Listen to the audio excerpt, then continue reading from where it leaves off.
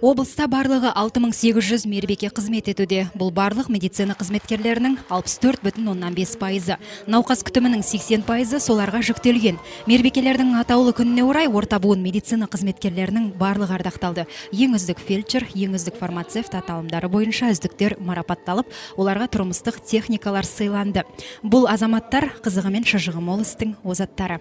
Честь Дня медицинской сестры сегодня у нас были награждены более 40 человек. бүгін қырықтан астам мейірбике марапатталды. Мәселен облыс әкімі мен облыстық мәслихаттың алғыс хаттары сегіз адамға берілсе бес мейірбике қала әкімінің атынан тағайындалған марапатқа ие болып отыр. Біз саладар біз сала ардагерлерін де ұмыт қалдырған жоқпыз. Оларға ақшалай сыйлықтар берілді.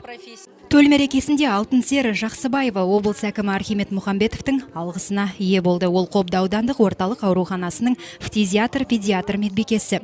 Өмірінің 35 жылын осы салаға арнаған аяулы жан мамандық таңдауда жаңылыспадым дейді. Осыдан 40 жыл бұрын ақтөбе медициналық колледжіне түсіп оқудан кейін аудандық ауруханаға жолдама алады. Талай жанның алғысына бөленген алтын зер үнемі үздіктер қатарында. Зейнет жасына қарамастан ақ халатын үстінен әлі шешкен жоқ. Мейірбике саласында істегеніме 38 жыл болады.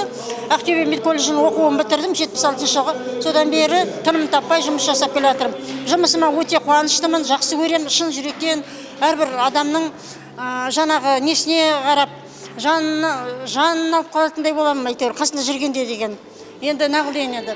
Осы бүгінгі мейрамға бәріне де құтты болсын деп айтқым келеді мереке құрметіне мейірбикесінің 45 ардагері ақшалай сыйлық пен 27 медбике облыстық денсаулық сақтау басқармасының мақтау қағазымен марапатталды. Облыста 7 мыңға жуық орта буын медицина қызметкері бар. Олардың қатарында жекеменшік мекемелердің өкілдері де кіреді. Денсаулық сақтау саласында мейірбикелердің рөлі үлкен. Жанар датқызы жасұлан жұбай тәулік.